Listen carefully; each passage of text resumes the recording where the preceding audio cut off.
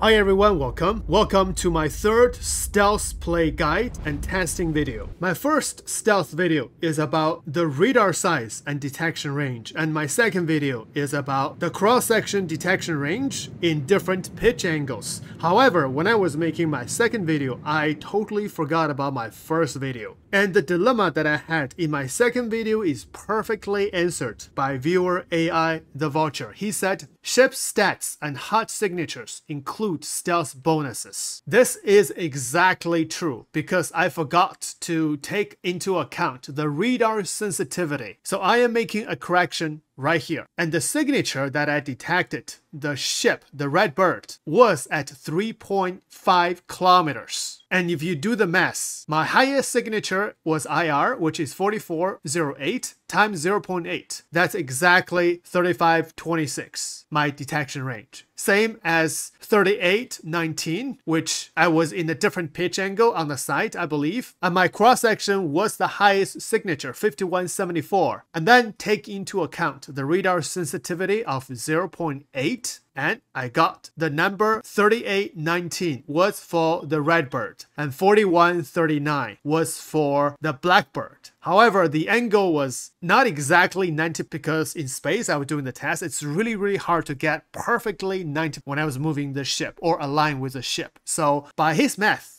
my angle was at 74 degrees. And these number matches exactly. So dilemma solved. And this is exactly same math that we will be using in today's video. By the way, thank you so much, The Vulture. And for this video, we'll be using the Sabre Comet as the test subject. And our detection ship will be a Sabre Scout. I mean, uh, Drake, right? Drake Scout. Oops. Drake's gonna be pissed. Actually, is gonna be pissed.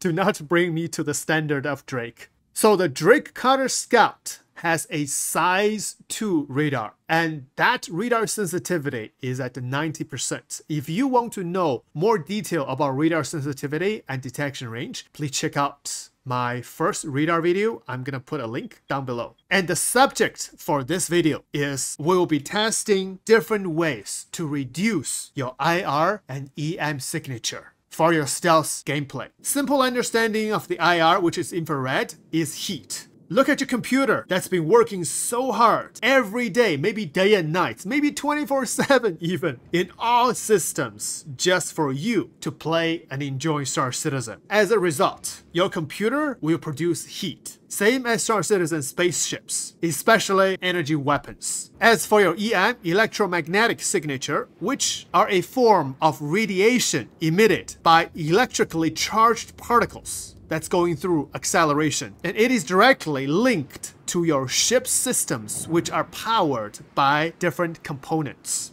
So to reduce IR and EM, we must play around with your ship's weapons and systems, as well as finding environmental objects as covers. And now let's do a basic test on the Sabre Comet. And first thing, we're going to Star Citizen ship viewers and find the Sabre Comet and look over here, radar emissions. And what we need to look at is the cross-section value. So front is 485, the side, which is the highest, is 3880, and on the top is 3331. So bear these numbers in mind as we go through this test. All right, so here comes our first test, and we're gonna do this nose to nose, not mouse to mouse, but nose to nose. So for this saber, I'm using all stock components. For the weapons, I have four size 3 laser repeaters. And I am not gonna turn off shield or engine or weapon. And I am not going to press the suppress overall IR. So nothing, nothing at all. Also, I have parked the ship here for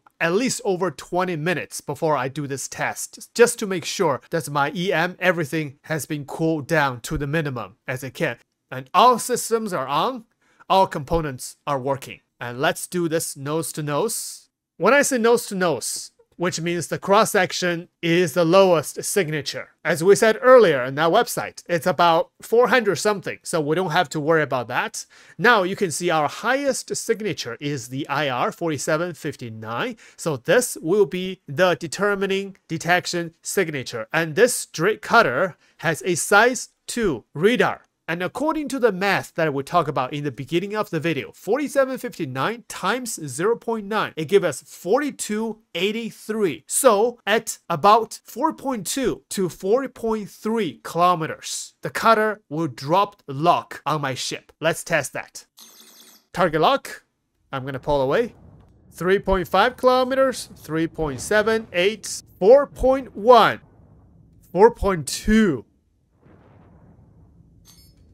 There we go. Just at the border of 4.3, the radar lock has been dropped. Let's see that again. So I'm going to lock myself at 3.7 and then pull away to pass 4.2. See, at the border of 4.3, radar lock has been dropped. This number matches our math. Now the question is how to reduce our signature. So what influenced your EM most are your components and your thrusters. When I use my boost thrusters, especially afterburners, my EM goes up very high.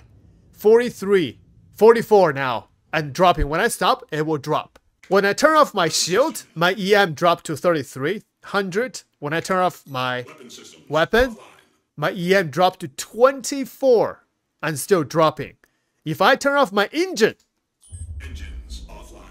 Ooh, that's a big drop. You can see engine affect EM a lot more than other components. Now my EM is lower than 500, but it does not matter. My enemies can still target me because my highest signature is still IR 4759.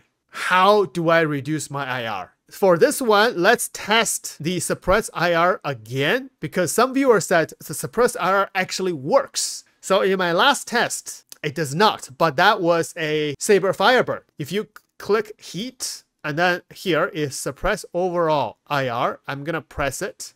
So now my IR dropped to 3855. Let's do the math. So 3855 times 0.9, it gives us 3469. So the cutter should lose the target lock on my saber at 3.4 to 3.5 kilometers. But I am still being target locked at 3.8 right now.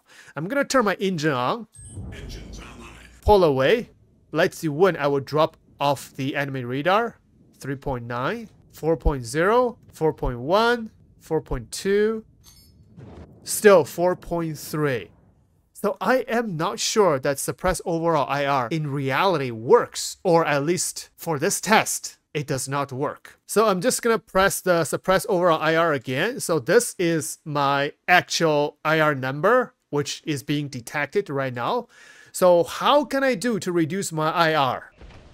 Time to switch ship. For our second test, I'm using this saber that has only one cooler, Stealth C cooler, one power plant, Stealth C, one quantum drive, and no shield generators. My weapon, still 4 size 3 laser repeaters. Alright, now let's begin our second test. So, one power plant, one cooler, and also turned off my energy weapon. And you can see now my IR is reduced to 4215. And 4215 times 0.9 is 3793. So at about 3.8 kilometers, I will lose a target lock from a size 2 radar. And if the enemy ship is using a size 1 radar, it gives us 3372. Wow. But of course, our systems are cooled as well. We don't have any shield, so we will leave ourselves very vulnerable. And this is not a Firebird. It doesn't have that speed. But for our test, we're gonna use this.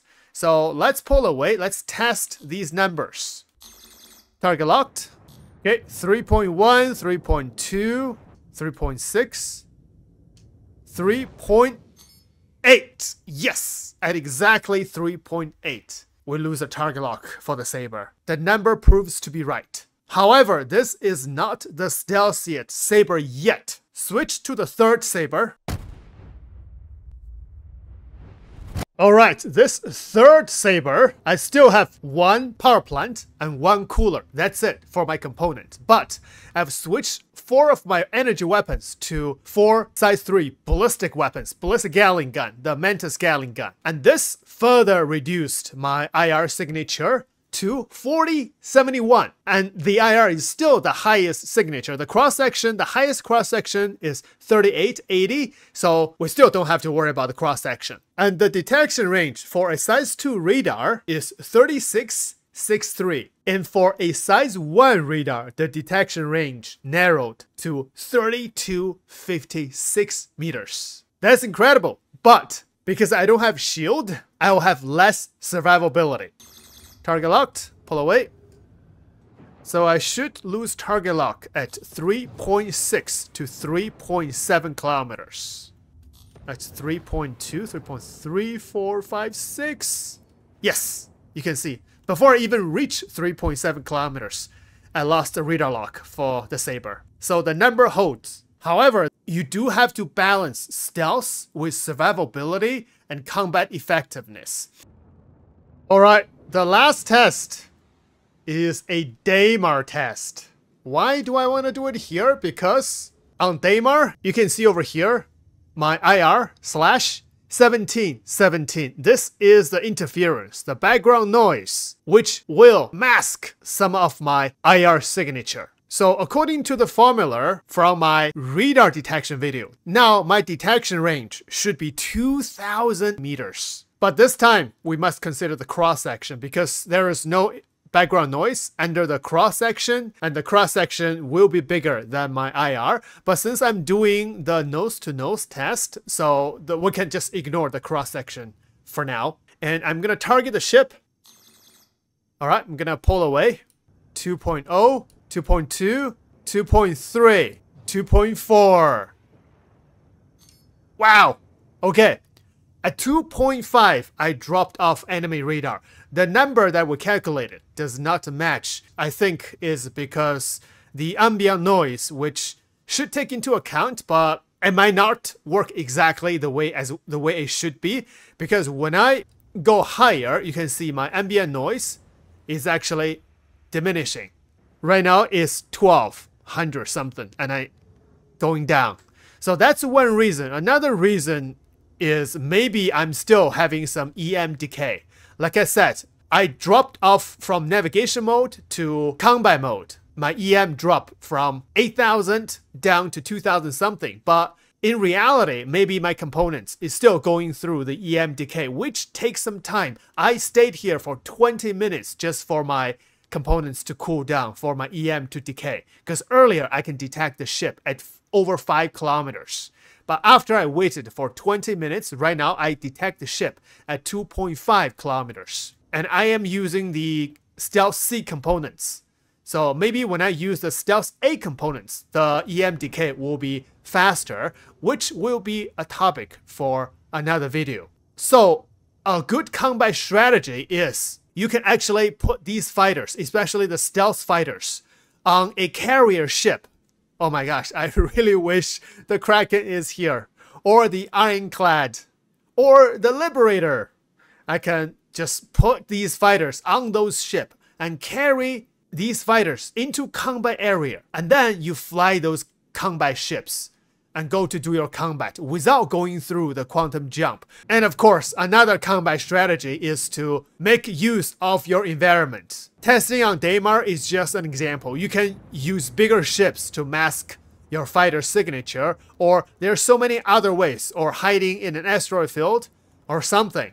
Alright, now let's get rid of those boring numbers. Let's do some real combat to test the combat ability and survivability of this setup. I don't have any shield.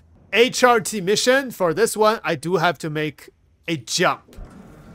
As you can see, my EM goes up to almost 7,000 now. Another stealth play tactics is when you're traveling to your target location, well, you are in navigation mode. You can actually go to power and manually turn off your quantum drive, which is Atlas. But if I turn off my quantum drive, you can see my speed reduces to SCM speed while I'm in navigation mode.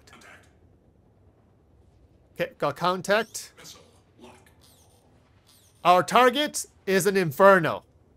If the Inferno hit me with a size 7, I'd be dead really quick. So I have to take advantage of my stealthiness.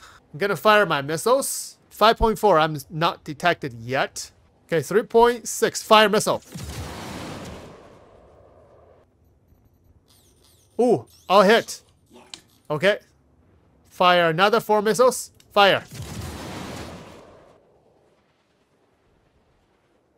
Hit, hit. Good hit. Ooh, nice. Take advantage of this. Switch into guns. Go, go, go. Quick, quick, quick. Fire, fire, fire. Oh, my gun. No, I turn off my guns. Oh, getting hit, getting hit. Okay, get out here. All right, escape danger for now. Okay, 5.3 kilometers. Not getting targeted. Go in there really quick and get out. Lock target, fire. Ooh, get out, get out. Go, go, go, get out. Okay, Inferno's heading toward me without a shield. Perfect opportunity. Fire. Oh, his shield is back.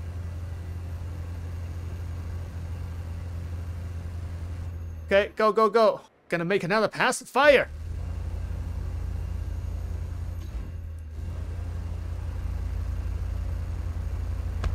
Yeah! Killed it. Without a shield.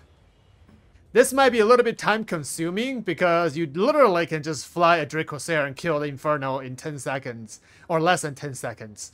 But this is actually quite fun to play with stealth. So it depends on the situation, like this situation, because I'm going into doing combat. So minimum, I need to have weapons and missiles. I don't have a shield.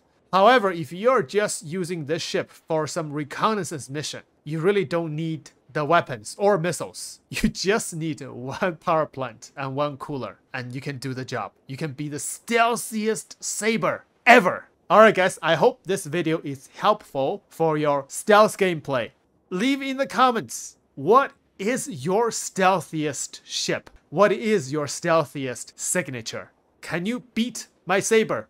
Thank you for watching. I will see you in the next one.